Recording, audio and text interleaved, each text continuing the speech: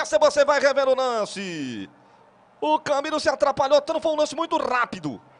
Você vai, tá aí, olha o que aconteceu. Bola atrasada de longe. Aí ele foi proteger com as perninhas, nossa senhora. Gol do Havaí.